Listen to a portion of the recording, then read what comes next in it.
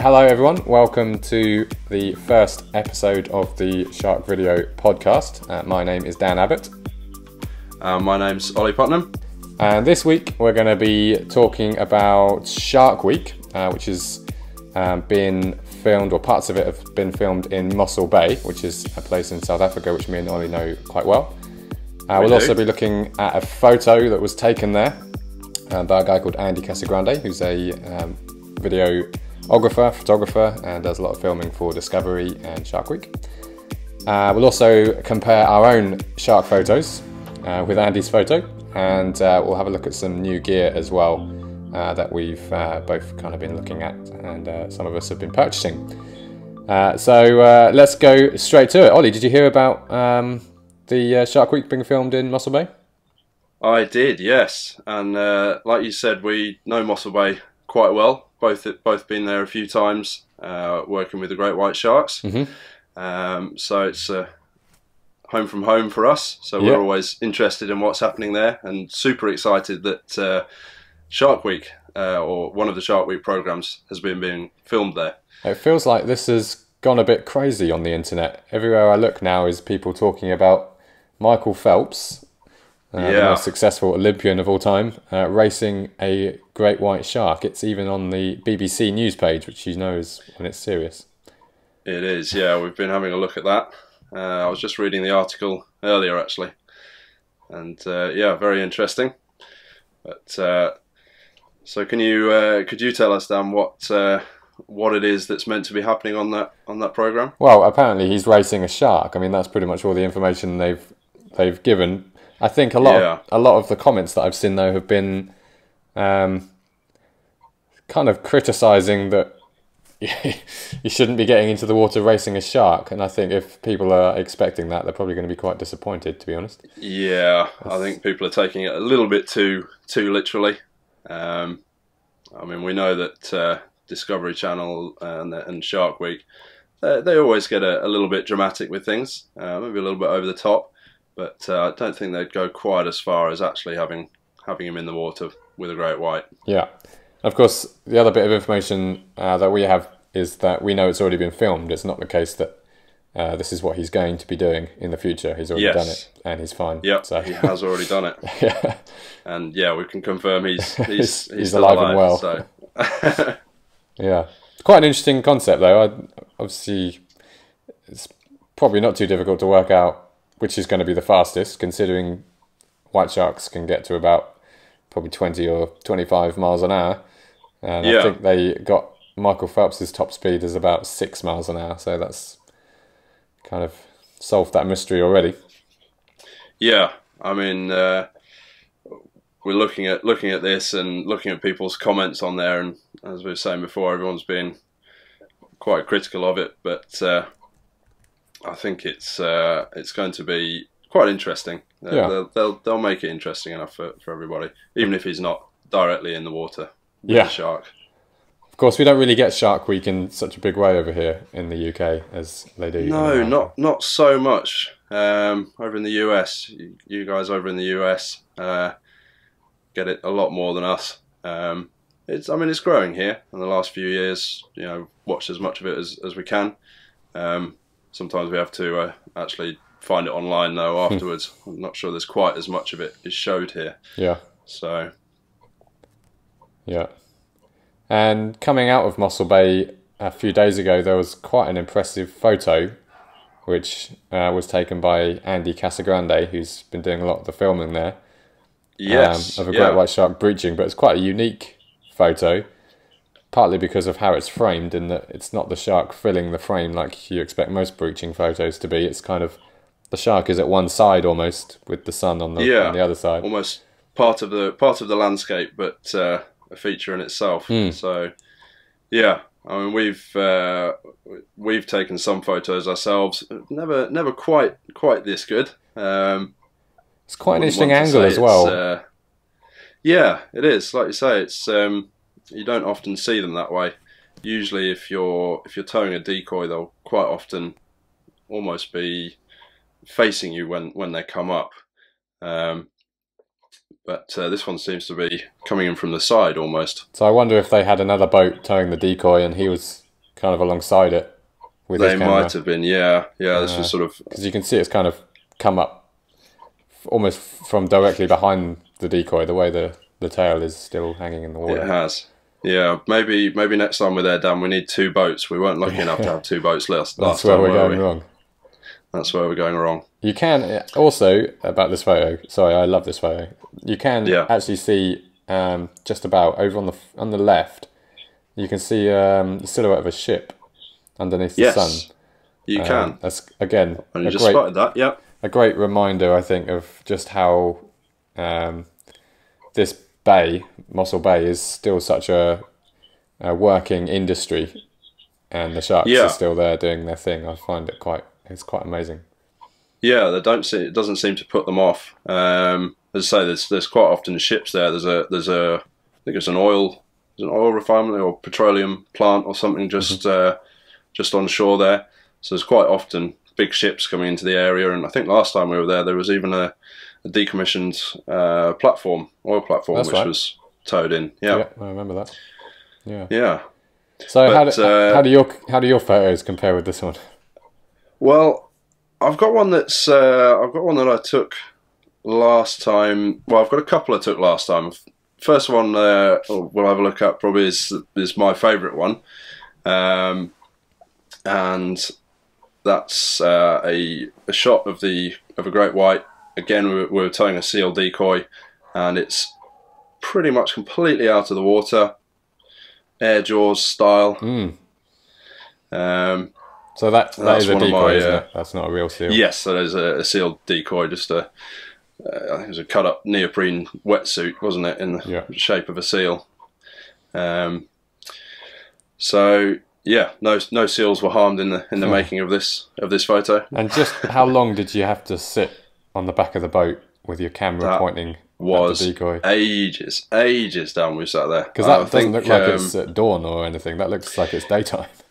Yeah, well, for for people that, that don't know much about uh, towing seal decoys uh, to get great whites to breach, you usually do it uh, first thing in the morning at uh, sunrise or last thing at night, sunset. Uh, these are the best times, and when the, the great whites are out hunting, the most active. Um, it's all to do with the the light, the, the, the seals with the light being quite low uh, above the sea, the seals aren't able to spot the sharks um, stalking them as easily. So the sharks uh, seem to like this time. Yeah, Um, but yes. I mean, just touching on that, it's actually amazing how you'll see a group of seals in the middle of the day, which Yeah. and and they don't even get bothered at all. It, it really does. No. it really does work so well for the sharks. This kind of camouflage thing at dawn and dusk, so much so that It they don't even bother during the day. Yeah. Yeah, they're, they're a lot more sedate in the day. Um, you'll often see, we've been, when we've been on the boat, you've seen, you know, seals quite close to the boats uh, while the sharks are around. Um, and they're obviously, uh, you know, they're obviously conscious the sharks are there, but they uh, maybe a bit more relaxed than they than they would be first thing on the morning. Yeah. So what uh, what other photos are you are you uh, kind of proud of that you took when you were there? Um, well, as we were saying, this this one was a little bit a little bit later on uh, in the morning. We'd been sat there quite a while for this photo, but the other one uh, that I'd got uh, was actually just just at sunrise, um, and nice nice red and orange sky there. Mm. Ship in the background, just like uh, Got to have the ship. Andy Brandy's uh, photo. Um, maybe not as high quality as his, but it's mine, so that's why I like it. I I actually I recognise that photo. I'll tell you why. Um, yeah. I think I am in a photo like that. that might actually be that same breach. Um, Right. Okay. There is a photo of me. I'm just trying to find it now. There's a photo of me, um, basically looking out, and I think it's the same breach, uh, where you've got the the sun in the background and the, the angle of it. Um, I wasn't Oh, I yeah. wasn't taking photos or anything. I was basically just kind of standing on the back of the boat, uh, waiting for the sharks to do its thing. But I think someone behind me had a photo. I think it might Yeah. have been our friend Elton. I, I can't remember what camera he was using. Shout out to uh, Elton Polly. Yeah, But uh, he was, uh, yeah, he managed to snap a photo of me looking at the breach, which was kind of cool. I thought in the end, although my That's head is, quite- is my head is blocking out the sun. Well, that's that's almost a good thing. It might have uh, got the picture to come out a little bit better. Uh, yeah, possibly. Yeah. Yeah. but yeah, I'm pretty sure that's the same breach.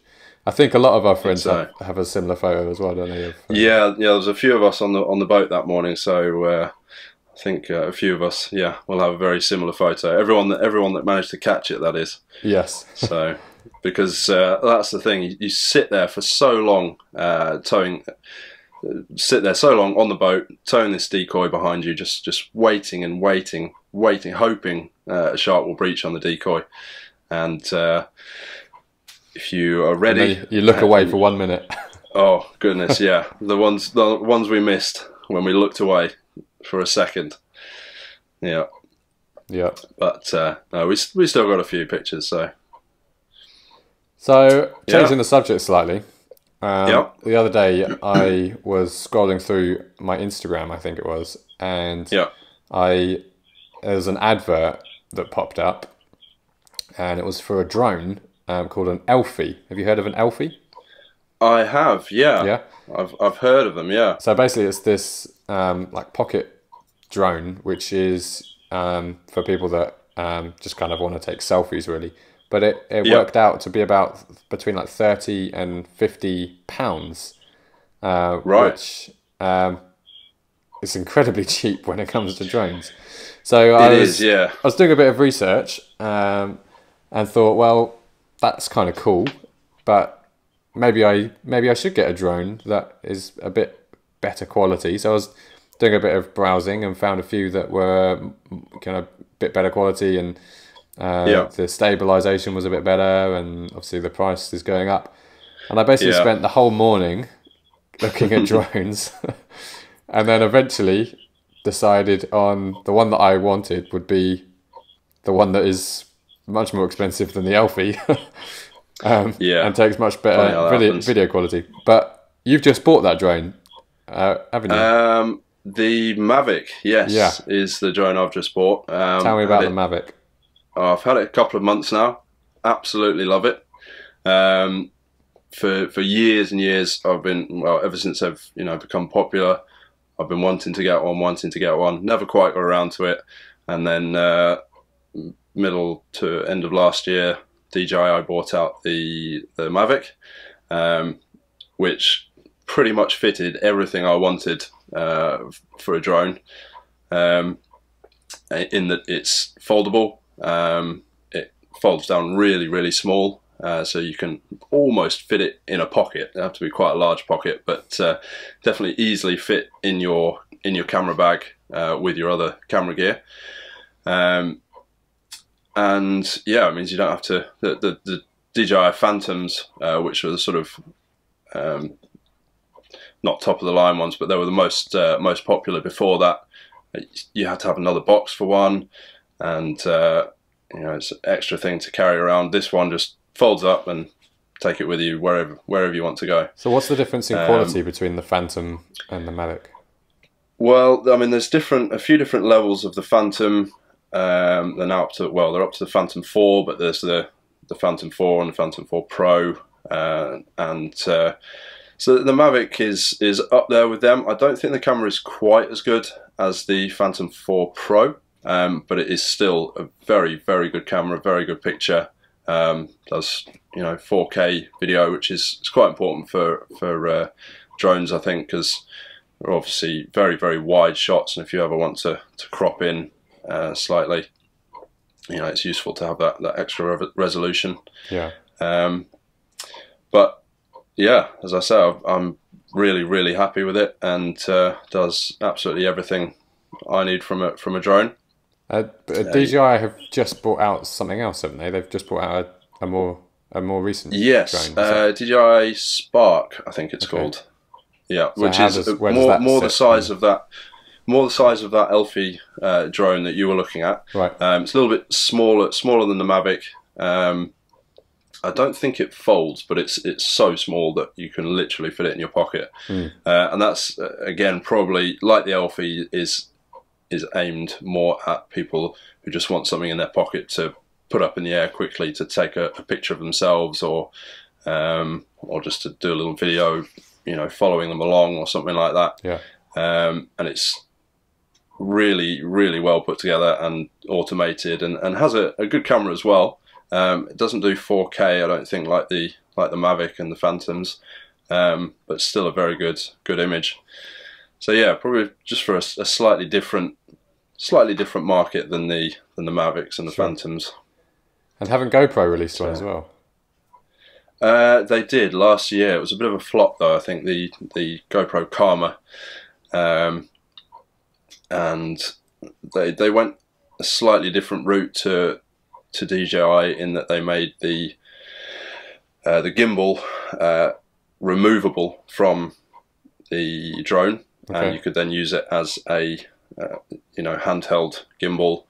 You use your the GoPro is designed to use the uh, Hero Five Okay. Um, so it was slightly different. It was, I think, it was re- released around the same time as the Mavic. Um, it was a little bit bigger than the Mavic, but had different features.